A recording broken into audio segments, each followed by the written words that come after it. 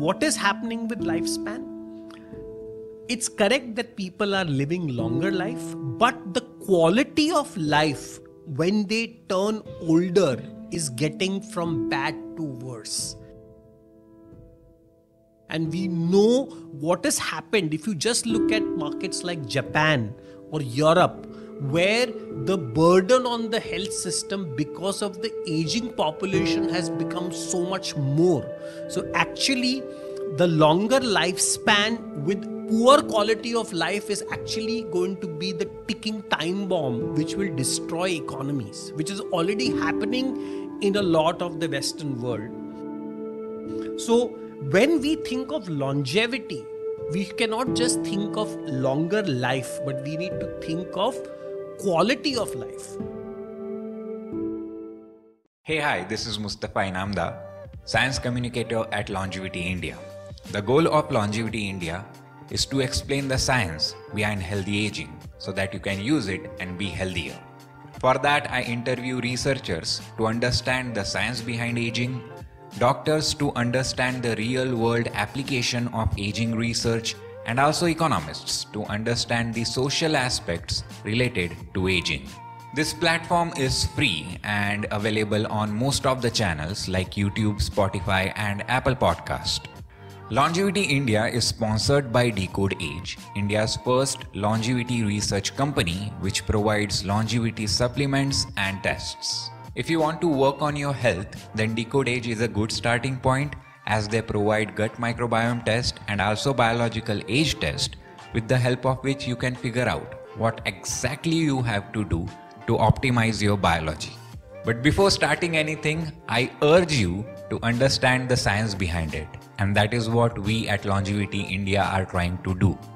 Making science of being healthy simple. So, yeah, let's continue with this amazing episode. I hope you find it insightful. So, hi Vishal, how are you? Hi Mustafa, great to meet you. Yeah, great to meet you too. Welcome to Longevity India podcast.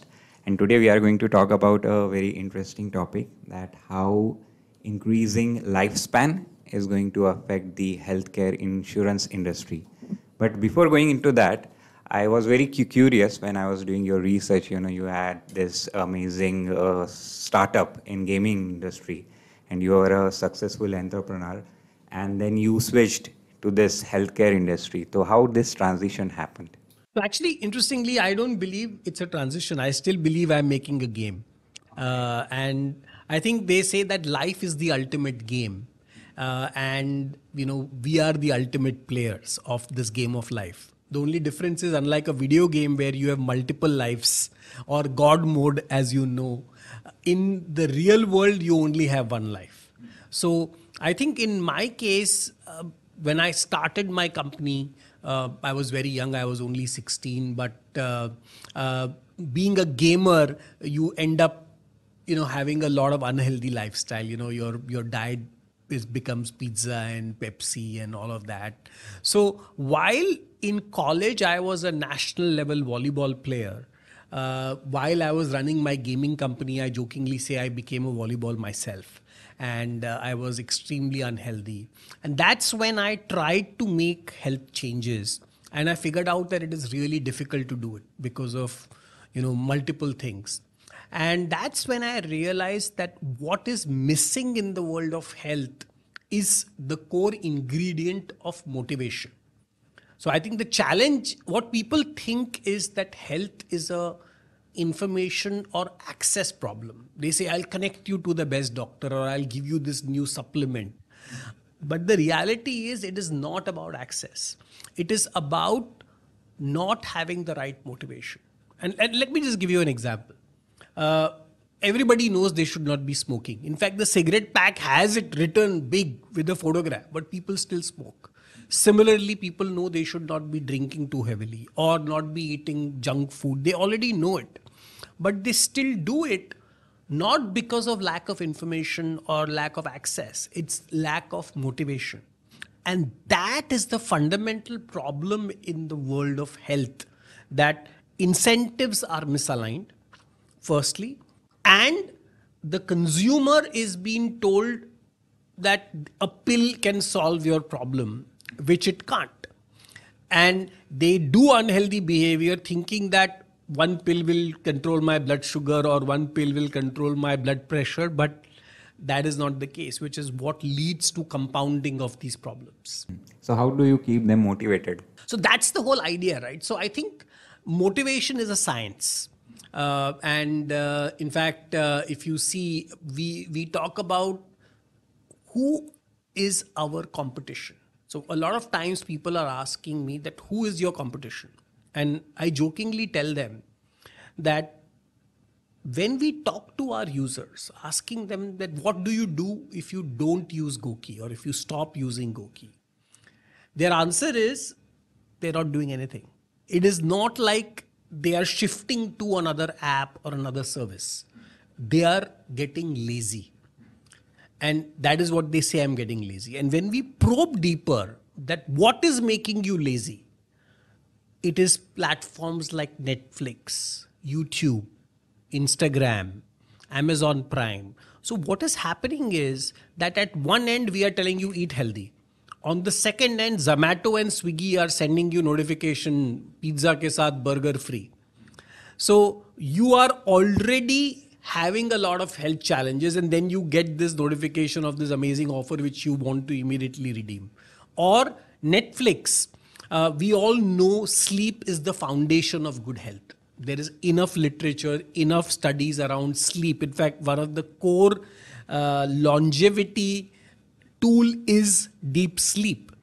But netflix has openly declared that their competition is sleep if you read netflix ceo's interview so Netflix, this billions of billion dollar company, is basically investing in content and technology so that you can't sleep. So imagine you are this individual who's trying to be healthy. Your coach or whichever book you read or website you go to tells you eat healthy, sleep, and be active. Netflix is not letting you sleep. Apps, food apps are not letting you eat healthy. And then there is the social media which is making you lazy, which is not encouraging you to go out, walk, or meet your friends. They want you to be in your couch surfing your endless uh, streams of content. So, the fundamental challenge is technology has been weaponized to make you lazy. Hmm. But don't you find challenging to sell a vitamin rather than a painkiller? So that's exactly the point, right? The point is that everybody wants instant gratification. We are living in this world of instant gratification, and the painkiller promises you the instant gratification. But unfortunately, in health, that is not the case. Especially when you are suffering from non communicable diseases like diabetes, blood pressure, uh, heart disease, kidney issues, all the lifestyle related diseases don't have a pill which can solve the problem. The pill can subside the symptom, and people take that subsiding of the symptom as the problem is solved, and then they continue to do the unhealthy behavior. And then one fine day, they get a stroke, they get a heart attack, they get a kidney failure, and then they realize, oh my God, it is too late. So, instant gratification is the fundamental problem in the world and in healthcare it's even worse. Right so as you mentioned in the beginning also that life is a game. And when i used to play game there used to be a bar. And as it, it used to get red it means i used i'm about to die. Now over the years that bar is getting increased. The average life expectancy is getting increased. In 1950s it was 35 40 years old now it is 70 and over the period of time when i will be at that age it will be 90 100 so why this is happening vishal? So again the life so so it's it's interesting right? So i believe that you gave a very good example that in a game there is your life and the life becomes red green but the metric is your life. Unfortunately if you look at what is the metric of health or what is the metric for a country the metric is GDP. They say GDP growth. Then they say healthcare expenditure to GDP growth. They are not trying to, they are saying that by spending more on health, I am actually doing good for you. But actually, that is not the case. A metric should be healthy lifespan. So I think fundamentally the metric itself is wrong when we look at measuring of health itself. Now coming back to your question on what is happening with lifespan, it's correct that people are living longer life, but the quality of life when they turn older is getting from bad to worse. People are now getting hip replacements, knee replacements, and we know the geriatric population is going through so many challenges kidney failures, dialysis.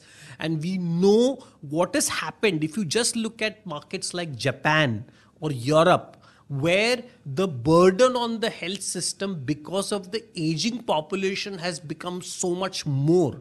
So, actually, the longer lifespan with poor quality of life is actually going to be the ticking time bomb which will destroy economies, which is already happening in a lot of the Western world. So, when we think of longevity, we cannot just think of longer life, but we need to think of quality of life. That is equally important when it comes to lifespan. Yeah, so I was having this podcast with Dr. Shekhar. He's a scientist from Indian Institute of Population. And he also explained that by 2060, the amount of elderly in India is going to replicate, and that is going to bring a huge economic challenge in front of India.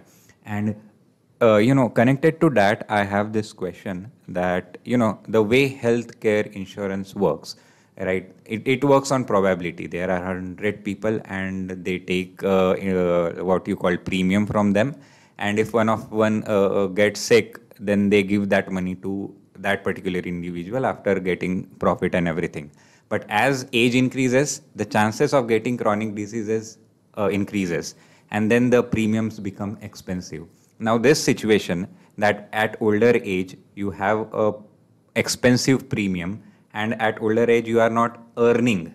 The, so that is creating a difficult situation. So how do you see it? So like i told you healthcare is going to be a very big challenge in a country like india where we are going to have such a huge population which is going to be elderly in the next 10 20 30 years i think the the fundamental problem is and again let me go back to the mindset let's imagine that there is a highway which has a lot of accidents, a lot of car accidents.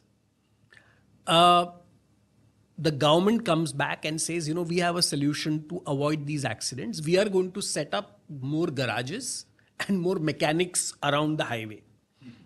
And that is what is done.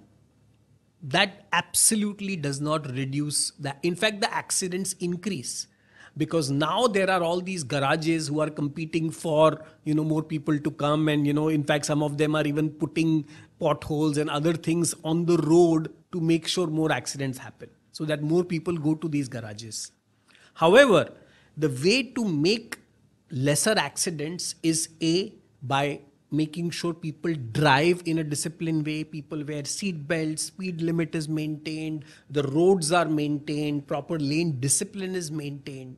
So the only way to make you a safe driver is going to solve the problem of accidents on the road and have better infrastructure, which is the better roads and better infrastructure overall. That is not happening in the world of healthcare. We have this challenge of diabetes population, heart care, you know, heart attacks. Every day you hear of young people now dying with heart attacks. But the solution people are thinking is we will have more hospitals, we'll have more trained nurses, and we'll have more doctors. Of course, they are needed, but this, that is the mechanics and the uh, and the garages where you are going to go. For you to drive and be healthy, we need you to adopt the healthy lifestyle. So in fact i'm happy that india actually has ministry of ayush which talks about so the entire you know the ayush system of yoga and all of that is holistic. Yoga uh, and if you go to ayurveda and even traditional chinese medicine they always look at it from a lifestyle perspective. They say for you to fix your your food your your gut needs to get fixed. And your gut needs to be get fixed because that is where all the bacteria and all that is right? And by popping pills which are antacid you are only damaging the gut bacteria. While others are saying, Are you have a problem, eat have antacid. So I think the problem is that these two uh, these two wings of science are colliding with each other right now. And one is offering you instant gratification and one is offering you long term uh, gratification. And long term gratification is difficult for most people to adopt. So what can be the solution so that people will uh, you know focus on holistic approach rather than instant popping pill? So so like i said that first of all this is a problem of motivation. So we need to figure out what motivates people to make changes. And if you look at, and by the way, we call this entire aspect of data motivation mining. So we need to figure out what motivates you, what motivates me, or what motivates something else to make a move. And interestingly, as humans, it's not like there are 20 things which motivate us. Right? Sabke liye, the basic motivation levers are the same. And they're all uh, they're all connected to the four or five chemicals, which is endorphins, dopamine, oxytocin, serotonin, cortisol. So finally, we are all the same at, as far as that level is concerned. So when Facebook, why is Facebook or Instagram so addictive? Because every time you click the like button, that gives you dopamine. Every time you are chatting with your friend in a WhatsApp group, that is actually giving you the equivalent of oxytocin. And then there is giving you you know all these challenges are giving you serotonin. So the point is that all these social media platforms are using behavior modification tools for their benefit which is advertising. So they are doing all of this so that you click on an ad. What we are doing is the exact opposite. We are saying that we will make you walk which will give you the endorphins but once you walk, you will get rewarded to meet your health goal. So the fundamental challenge is the business model of a lot of these companies. It is said that platforms like Facebook and Instagram from your behavior can figure out if you are depression, if you are depressive. However, when they know this, they are not telling you that hey go and seek help they are still showing you the image of your friend enjoying their holiday in Mauritius or Maldives, which is making you even more depressed. So, because their their fundamental problem is that they want you to click on ads, which is what gives them their revenue, which is why alignment of business model. So, for example, in the case of GOQii, our business model is in complete alignment with our users' benefit. So, we only make money with the user paying us and we only make money if they retain with us, which means they need to get a benefit to be remaining on our platform. We are not making money from advertising or anything else. So the minute the incentives are similar, that changes the game. And that's where the insurance company comes in. Now, now let's think of the insurance company. You just mentioned the insurance company model of collecting premiums and paying claims. And their problem is that when actuarial tables were designed, the population was very different and the population was also not that migratory. What has now happened in India is everybody has migrated. You know, the population of Mumbai or Bangalore or Delhi, you know, now versus 10, 20, 30 years back is very different. Secondly, the healthcare issues have become different. People are aging. So now suddenly their actuarial models do not work.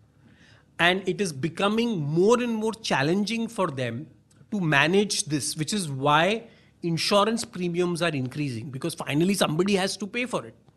So when we came back with the insurance company, we said, listen, your goal is the person should be hopefully becoming healthier, which means claim less.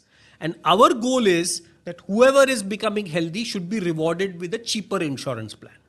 So now here is a marriage of both the business models where insurance companies benefit is they want you to live longer so that you can pay premium for a much longer time but also not have those expensive claims which completely erodes their business and in our case we want you to continue living healthy and get protection so our uh, our philosophy is we call it guide, motivate, and empower.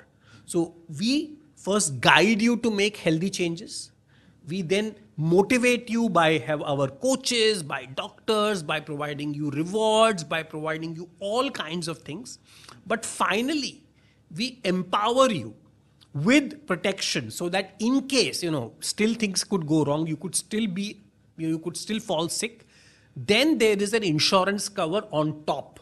So insurance cover cannot be it is an insurance means it is designed for a unforeseen event. It is not designed for something which is a imminent event. And unfortunately hamare yahan i can tell you at the rate at which people are consuming junk food diabetes, every second person is going to be diabetic in this country, given at the rate at which we are consuming all the unhealthy junk food. Suddenly, we have uh, apps which are delivering food to you in 10 minutes. You don't even go out to walk. Pehle, we used to go out to get at least groceries, you know, or, or even bread or something. You normally would go to your neighborhood and get it. Now, the people are wanting everything be, to be delivered in their house in 10 minutes. So it is making you more lazier, which is the fundamental problem. Hmm. So, as far as am I able to understand the GOQii model, like uh, suppose there is your customer which uses all the services of GOQii, and you have the his database uh, which represents that he is healthy, he is in a healthier state, and that uh, you then collaborate with healthcare insurance company and they figure out that this. So we have made it into a game. So GOQii is the game of life. You are a player. Now, once you enter a game of life, how do you win this game? So the metric is your GOQii age. So as you become healthier, your age starts reducing. And we actually show your avatar who is getting younger. So longevity is so embedded into GOQii's DNA that we show the GOQii age to every user. If you go open the GOQii app, for example, uh, like I'll, I'll be opening you and showing you my app, you will uh, you will be seeing my GOQii age coming up, and it shows you right, and not just for me, for every GOQii user, it will show right on the front screen what is your biological age and what is your GOQii age. And normally it always starts the other way around. Your biological age is is is uh, is is lower and your GOQii age is higher because most people are because they are unhealthy. So they technically, even though they may be 30 years old, their GOQii age will be 35. So you are actually older than your age. But then what we do is as people start making uh, the the healthcare, their lifestyle changes, that's when their age starts reducing and as your age starts reducing, you level up. So you start, so we have a leveling system called SAFE sedentary, active, fit, elite. So you start at the base level being sedentary, but the minute you upgrade, so uh, so the minute you upgrade to that, you go to fit, then you become active, and then you become elite. And this leveling system, so if you see the GOQii age here, uh, you can see here my age. The leveling system is connected to my avatar itself. So here you are able to actually see my GOQii age. So it shows you my biological age. Uh, it shows you my biological age. It shows you my my real age. In, in this case, my biological age is 46, but GOQii age is 41. So I'm technically five years younger looking than my own age. And then it shows you my level. So I'm elite for 700 days. And then it also connects this to my insurance plan. So there is an insurance plan right at the top and it shows you my insurance coverage. But the best part is we have a community. So you can see other GOQii users. Just like a game, you can see other users who are in what level. And you will see you can make them friends, you can add them in your group, you can create challenges. So there is an entire social aspect to gaming on this, which we have built in brought game into reality and you know the in the best way possible absolutely which is why i say right longevity is actually the best metric for somebody. Because life is a metric in a game. Whenever you play a game you always say hey, i have how many lives in a game? Uh, whether you play pac-man or any game. And then if you remember we are always are trying to say how do we get to god mode so that we don't die? Unfortunately we can't give you god mode in real world but we can give you the GOQii mode. And in the GOQii mode, the best part is once people get into this game, they get addicted to the game. So instead of we wanting you to get addicted to playing Candy Crush or some useless game, we want you to be addicted to playing the game of life, where you win by being healthier and you get rewarded by your insurance company, by your bank. We work with banks who reward you. So banks will give you their reward points. We work with all the health food companies and supplement companies who then give you discounts and deals on all these supplements and products. We work with experiences who will say, I'm going to give you cheaper this. So it becomes a club of healthy people who everybody wants to incentivize. All right. So, you know, when you were explaining uh, age, biological age, real age, I'm, I'm really fascinated by this concept of biological age, majorly based on Horvath clock, epigenetic clock, right? So, what do you think about that? And the GOQii age that you just mentioned, what are the parameters on which it is based on? So, I think it's quite clear that aging, you know, and you know, I'm sure everybody listening to this podcast knows people who when they see their friends, they look much older than their age, and there are some people who may look younger than their age, and there are some people who may look their age. And for us, it's very common. In fact, one of the compliments you give person is you are looking very young. So it's actually treated as a compliment always. However, the problem is that we are still not able to comprehend both these aspects of your biological age versus your, let's call your real age. And in the case of GOQii, what we have done is we created our own model, which combines various aspects of health. So the foundation is sleep. We start with sleep, then we talk of nutrition, then we talk of activity, then we talk of cognition. We believe cognition is an important aspect of brain and people don't people think cognition is different but you need to feed your brain also. So most people for example have deficiency in omega 6 because they don't have the right you know the you know brain food as we say and then finally we talk about happiness which is mindfulness meditation so it's a combination of all of this and then we reward consistency you can't just say, I will meditate once a month and suddenly I'll become younger or healthier. Health is something you have to practice every day and it needs to become part of your daily habit. Only then you will see the result. So, consistency is more important than quantity or quality, actually, I would say. A lot of people give emphasis to quality and quantity that आज मैंने दो घंटा exercise किया और today I did you know weights such heavy weights so either people are talking of quality quantity but even if you walk 15 minutes a day every day but you do that for 365 days that is going to give you more benefit than doing these heavy exercises once in a blue moon so consistency is main and that has been one of the core elements of our aging platform which we have created and the best thing is we have connected this to your insurance underwriting.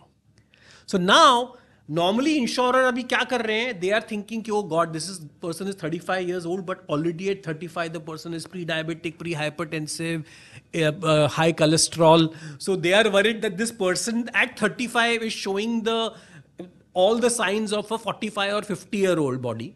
But in our case, a 35 year old is showing the sign of a 25 year old body. So you will underwrite me as a 25 year old, not a 35 year old.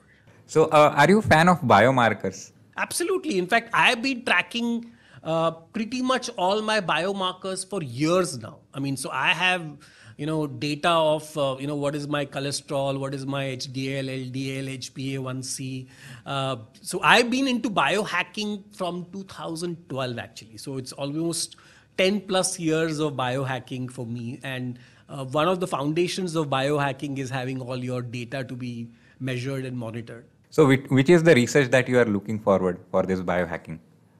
So, so very frankly, right, I don't think so. Biohacking is the right word. Uh, in fact, now I think that what we think is biohacking is actually the right way to live. It is suddenly termed as biohacking because if you look at traditional life, there were no geysers so people used to take bath in normal water or cold water. we never had this concept of hot water. You know, it was only something which was a privilege at, at some point of time. We suddenly started taking, you know, all this hot, and suddenly we are now talking of cold therapy and cold this and cold that. If you look at all our traditional systems, they are being presented to back to us, packaged as biohacking and all of that. Longevity, if you look at intermittent fasting, fasting has been part of all religions. You talk of any religion, there is some or the other kind of fasting, whether it is having Ramadan, which is again, you know, it is like a 30 days intermittent fasting, or whether you look at the Jains who fast, you know, and they don't eat after sunset and all of that. And if you think about it, right, all these people somehow knew that you had to fast. Uh, and now suddenly we have all these scientists talking about autophagy and all these things to us, which was already embedded in a lot of our culture and a lot of our DNA. We've been told to eat, uh, you know, foods which are now non-processed. We are millets. We are talking about, you know, eat millets. You know, there were only millets available at some point of time. So I think uh, for India specifically, I would say that for us, biohacking actually is going back to our roots. All right. So, but you know, I, I'll I'll contradict you there. That you know, uh, from childhood I was an atheist. Uh, despite being from a religious family and my mother used to ask me to do rosa every ramzan and i don't used to do that. But now as the science has cleared up things for me that it is actually helpful i do i do fasting uh, like that.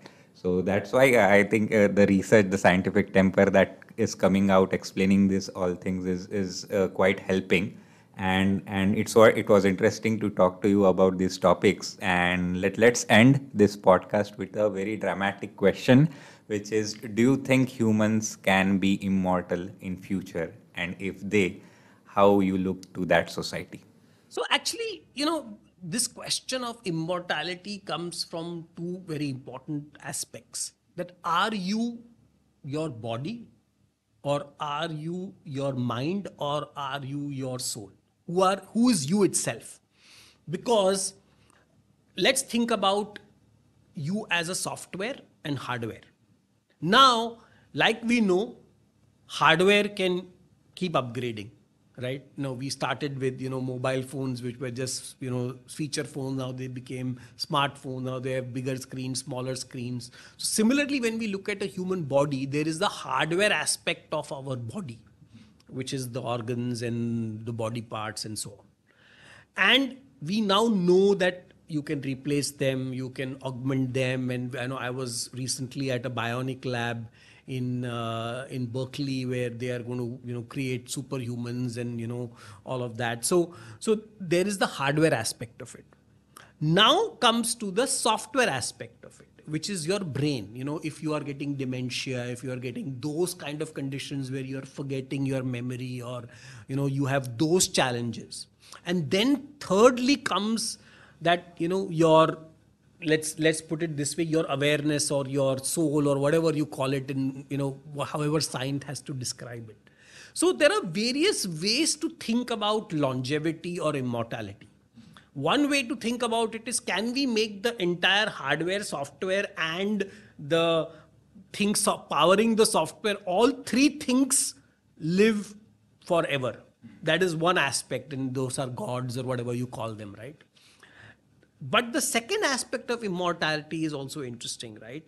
That can we somehow back up your your memories and somehow back up your system into a new hardware, into a new hardware, uh, where uh, you could potentially be still alive but in a different body or a different vessel.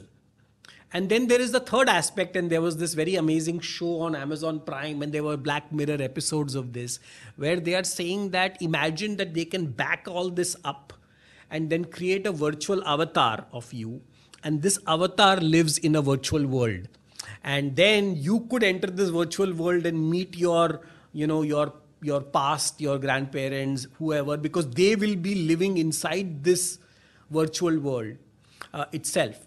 And now with generative ai imagine that all my memories and thoughts are backed up and then generative ai algorithm will look at that and start predicting my future behavior based on my intellect and my past so it is not that i'm just living in that simulation. I could actually be thinking and doing things in that simulation with generative ai now which which is the talk.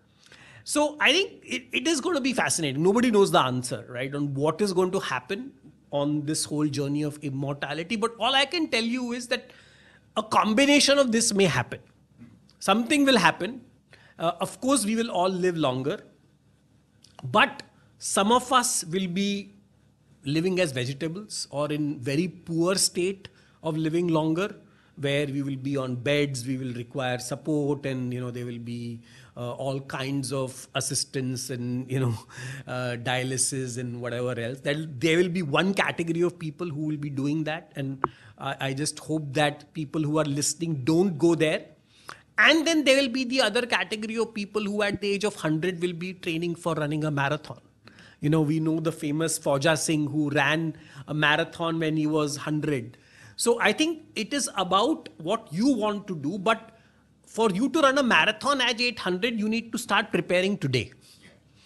You cannot at the age of 100 think ki main ye karunga because this is going to be a lifestyle change you have to do now at age 20 or at age 30 so that at age 100 you are capable of running a marathon and finally, I think one aspect which we again missed over here, which I thought we should also talk about, is about uh, mindfulness.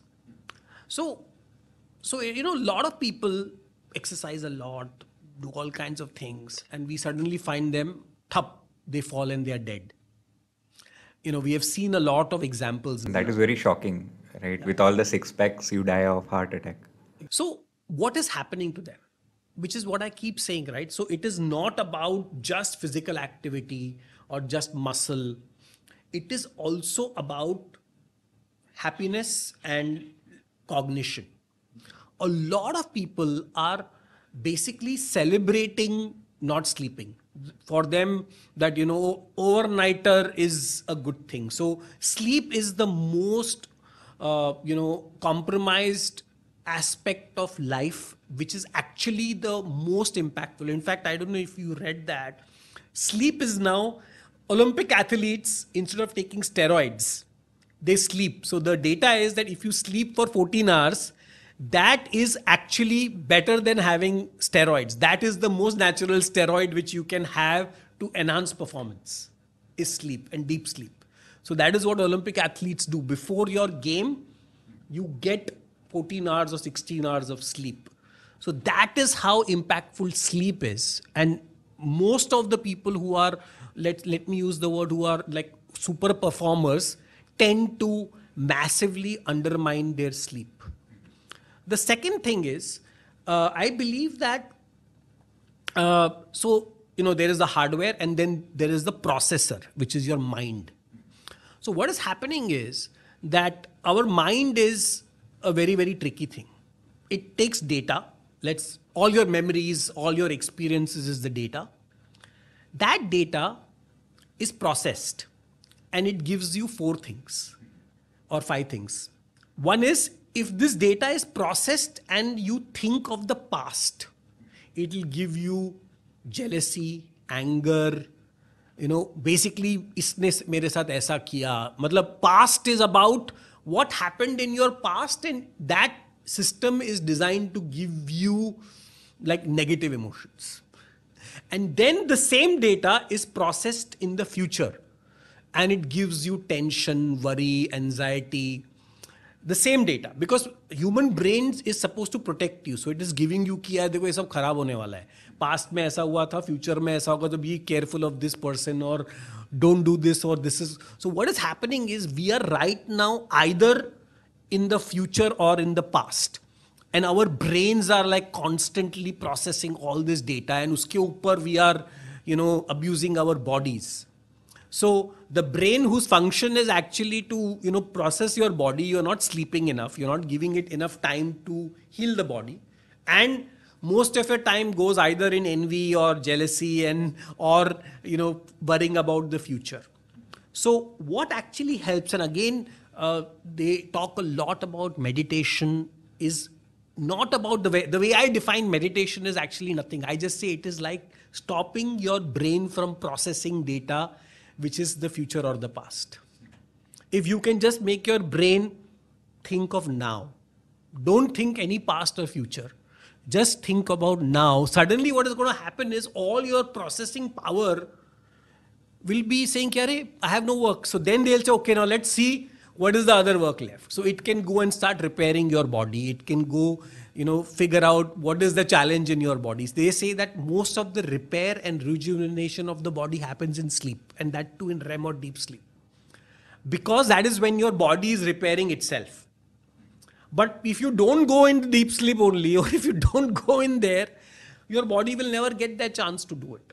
So i think people fundamentally don't understand some of these concepts which is why uh, we are seeing a lot of these cases of people dying untimely deaths, which which could have been avoided. So I was also, you know, reading somewhere that uh, the narcissism, the narcissistic behavior over the period of time is increasing because of social media and everything.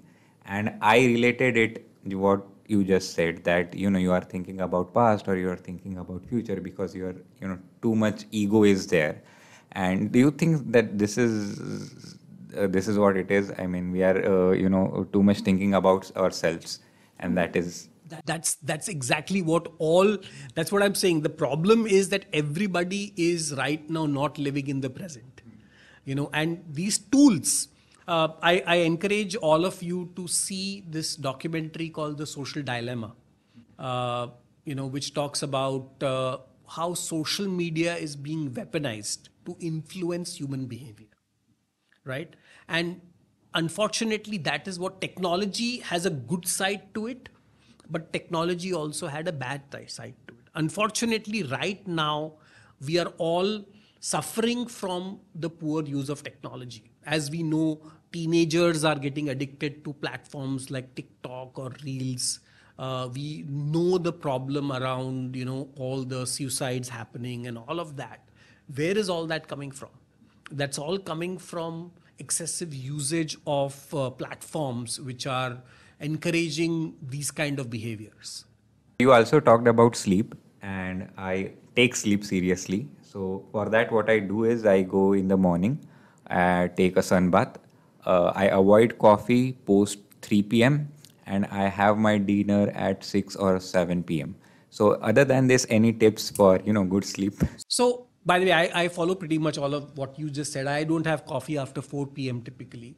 But I think three other things really worked well for me. One is I don't even keep my phone in the same room. When I'm sleeping, the phone is in a different location altogether. And I don't know why people sleep with their phone next to their bed and use it like an alarm or whatever they say. But the problem is that this is the same phone. Every time they wake up, they would f- want to check it, and it keeps interrupting you every time. So I think, uh, and if there is anything urgent, you know, you can figure out how somebody can contact you in case of urgency. But nine out of ten times, I'll tell you, as a nothing is urgent that they have to call you in the middle of the night, right? So if you can figure out a way to keep your devices not even in the same room, that's good Secondly, the temperature of the room matters a lot. So either you reduce the temperature or don't use any kind of blankets or anything else, right? Because what happens is we are, the body temperature is supposed to cool down, but it is not happening. So the temperature makes a big difference. And the third is the lighting in the room. A lot of people have too much light in the room. They keep one side light on or the window is on. So you are supposed to have pitch darkness or as close to darkness in as possible. So that is another very important aspect. And and finally, I also uh, I've tried things, you know, like you know, applying you know some kind of oils, oil, but that's okay. But I would say that the three other things which have worked very well for me is uh, technology detox in the night and uh, making sure temperature and uh, all that is controlled and the light. All right. Thank you, Vishal, for your time. I hope the listeners uh, who are listening to this podcast will be motivated for a holistic life and their lives will be changed. So thank you very much for taking your, Thanks your time. lot and pleasure talking to you on this.